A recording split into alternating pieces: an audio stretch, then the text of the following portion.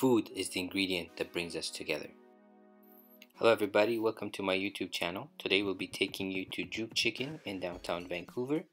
Uh, without said, if you haven't subscribed to our channel, make sure you subscribe and hit the bell uh, icon. Through your subscription, we're able to bring you these great videos. Juke Chicken has two locations, one on Davie Street and another one in Chinatown. Today we visited their uh, Keefer location. Um, they have a lot of uh, space both outside and inside their patio, they have around 3 benches and roughly seating for 12 people.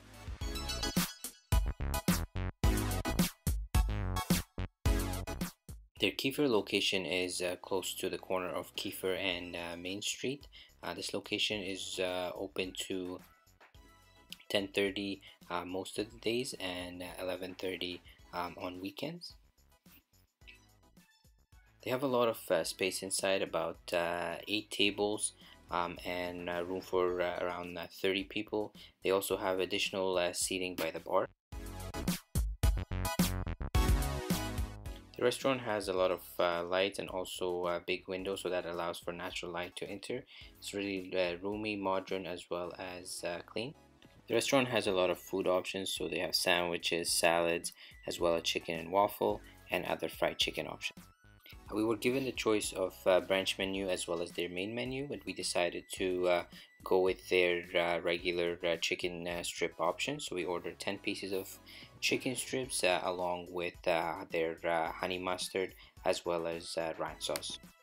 The chicken was well cooked, tender, and not greasy.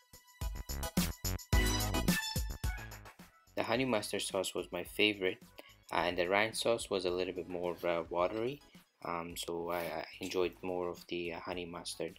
Um, our bill came to $29.93 for the 10 pieces of uh, strips along with the sauce and we weren't able to finish it all so we actually took it uh, the additional pieces to go. When I called in to confirm if their chicken was uh, halal um, I was told actually that their chicken is not halal but rather uh, that they purchase uh, their products from Rossdown Farm in Abbotsford so when I called in Rossdown and confirmed with them, uh, they told me that all their chicken products are halal um, and uh, any other product like sausages that they sell, it's not. If you do uh, adhere to strict uh, diet of uh, eating halal food, I encourage you to do your own research and investigation um, to ensure that the products that you're consuming are 100% halal. The restaurant was uh, clean both inside as well as outside uh, and everything inside the restaurant was uh, well organized. Um, so I would rate the cleanliness 10 out of 10. Uh, when we first uh, entered the restaurant, we were greeted. Uh, they were really friendly, uh, but we actually had to ask them for a menu, and that's why I would rate them 9 out of 10. the chicken was well cooked and not greasy, but it was lacking spices, and that's why I would rate it 8 out of 10.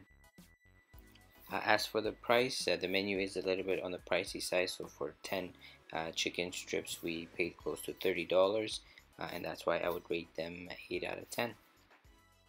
If you like this video, please don't forget to subscribe to our channel uh, and like uh, this video and share it with your friends and family so that we can bring you more reviews in the future. Thank you very much and see you guys in the next video.